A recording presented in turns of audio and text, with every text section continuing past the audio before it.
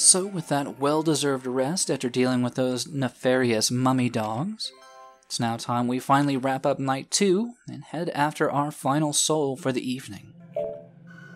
Now, currently, we haven't run into the final two new guests, and as such, we don't really know too much about them, so seems like a perfectly reasonable opportunity to start gathering some intel on them. And what better place to start gathering intel than with Gregory himself?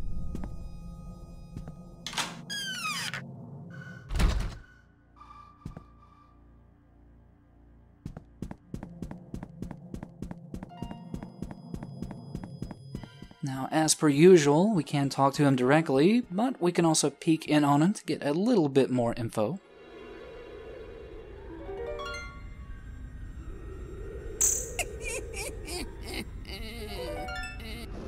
And also, it allows us a little sneak peek into that great passive aggression that we've seen Gregory tout about so, so very well.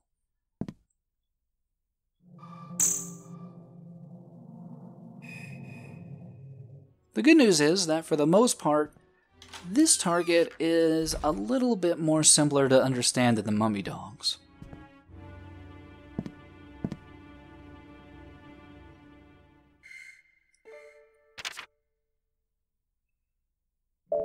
Would you like to hear about?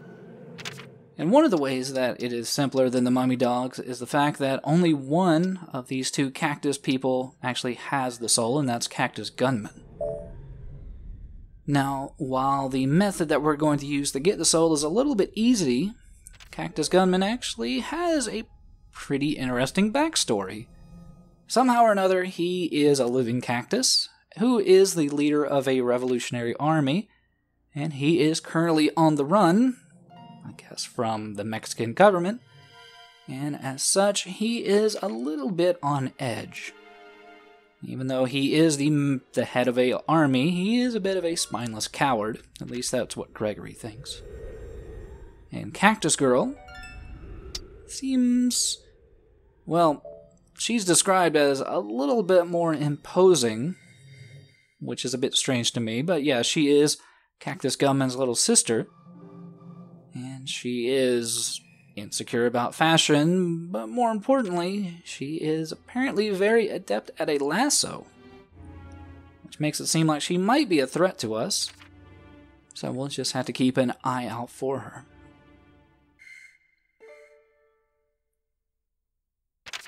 All in all, that really kind of points to the fact that, well, I mean, we're to have to scare him via loud noises. The thing is that well, there is another additional source of information from, well, I guess, Gregory's family that we really haven't been using. And to get to that, we're to have to head back to the front lobby.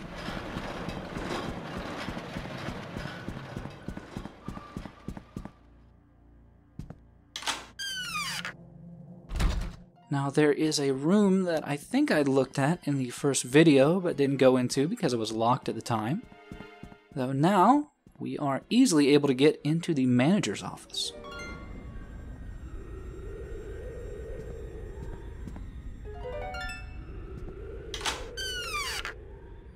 And from what I can gather, this is where Gregory and James do go to sleep, though there isn't too much to the decor to really illustrate that. In fact, there's not really too much of interest in here outside of a, uh, an additional book and this separate book on the desk here, which is not for us to keep, but instead is a diary written by James. Now, for the most part, we can kind of use this as information gathering if we don't really get any information from the guest. So we can see here he talks about Catherine and writing nonfiction. Our, our real point of interest, though, here is on day three. Seems he has mastered the art of ding dong door ditching and has been using that against Cactus Gunman, more specifically, using this ding dong ditch method three times in a row will cause the guy to go into absolute hysterics. And that sounds like a perfectly reasonable method to use against him, though we might have a few issues with the mere fact. As of right now, we have pissed off quite a few people in the hotel at this point. And that means it will become even more necessary to really stay on our toes and keep track of where everybody is.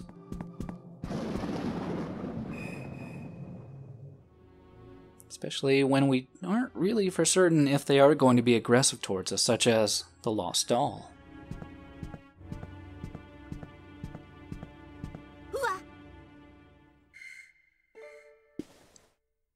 Now, we are just outside of her reach and we can look inside on Cactus Girl in her very, very interesting room.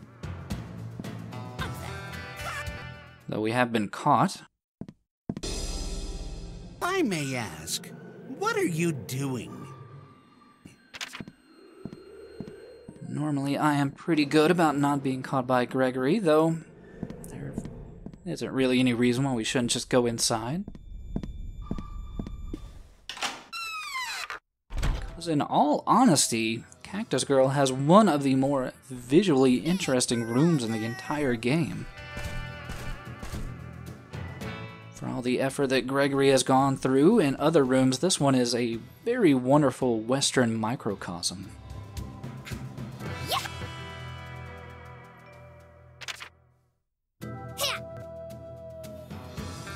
And while it seems that Cactus Girl just goes through information we have already gathered ourselves, she does elucidate the fact that I guess she thinks we're part of the Mexican government chasing after her brother, that she will go a little bit lenient on us because she has the home turf advantage and her brother has instilled, I guess, some morals upon her. My Brother, I'll leave you alone for now.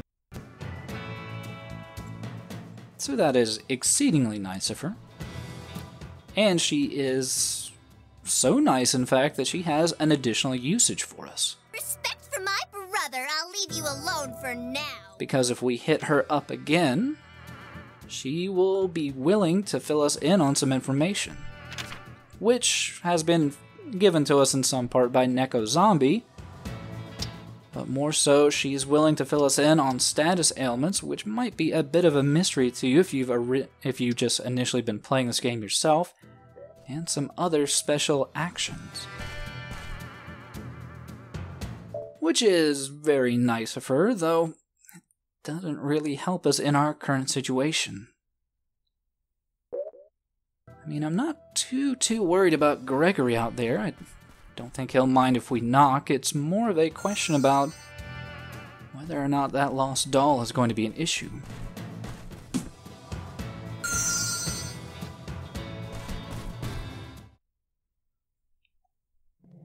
So I guess it's time for a little bit of an experiment.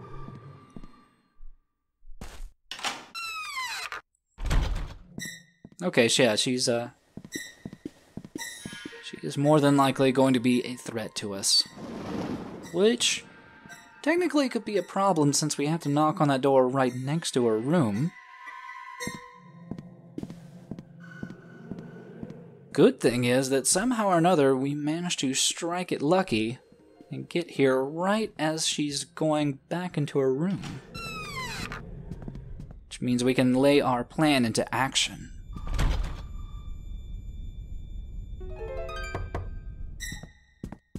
Who's that? The one thing to keep in mind with ding dong door ditching is that you don't want to be waiting around the door whenever the occupant comes to check. Don't scare me like that. And indeed, in this case, if you do happen to just be waiting around, that will trigger Mr. Uh, Cactus Gunman there to go running. Who's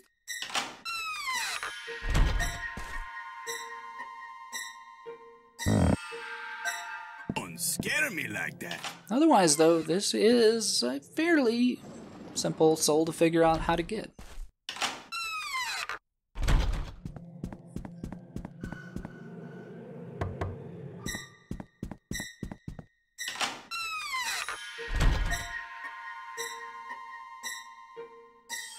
Wh- Somebody's out to get me. Who, who are you?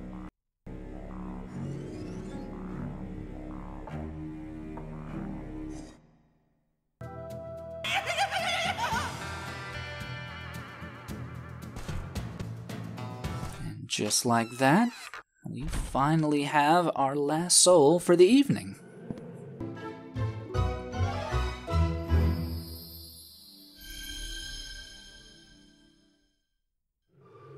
Just like taking candy from El Nino. Let's go with that.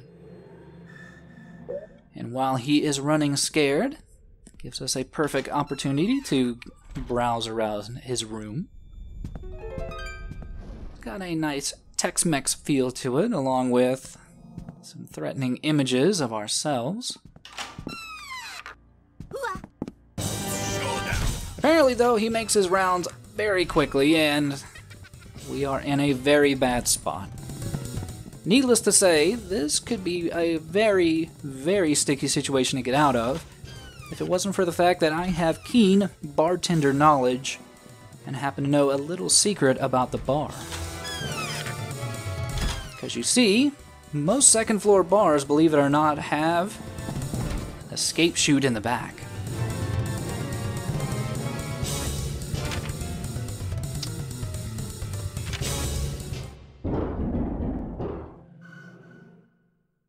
Just a little something I learned from, I think, 30 years of watching Cheers.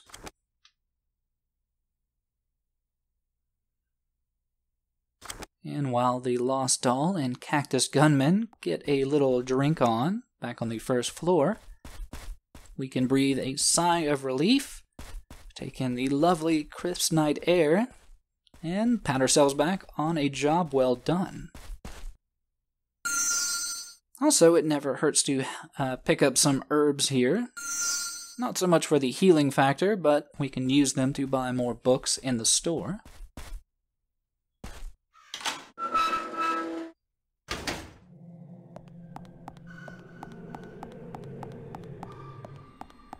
On our way to finish up the evening, we do find ourselves a little interesting scene here in the dining room. Now, believe it or not, James is not wholesale evil. It seems more than anything, he's just a little bit lonely. And it seems that he would like Shub here to stay, if only to, you know, have a friend here. Which would be kind of endearing if the guy wasn't such a little asshole.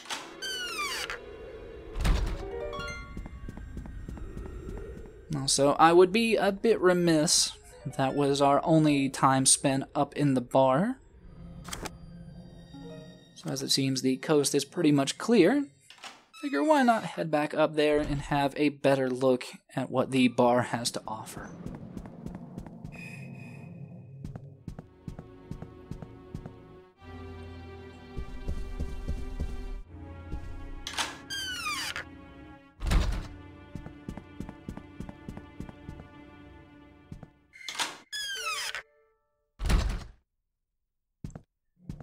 Outside of the very smoky decorum, does have some lovely bric-a-brac along the walls, some very interesting old, I guess, brochures or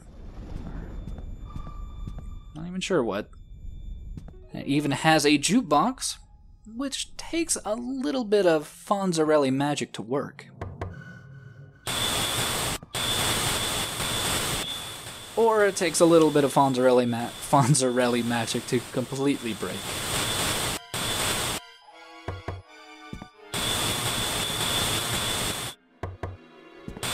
Also, I was kind of hoping that knocking on it a bit more would kind of fix it.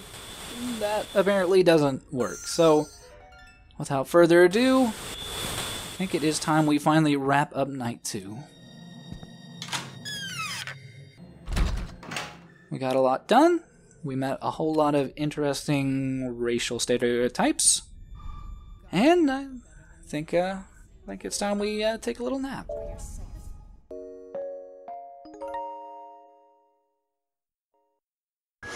On now. Give it up! Throw away all them worries. Oh, it's you! Did you manage to pick up any souls? Only brought me one, huh? I take it?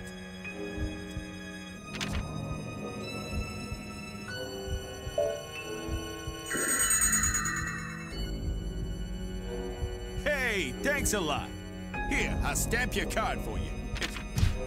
Hey, you don't look so good. Here, this'll fix you right up. Ah, would you look at that? While we've been here jabbering, whole bunch of new guests moved in, and they got souls too. Good luck there, buddy!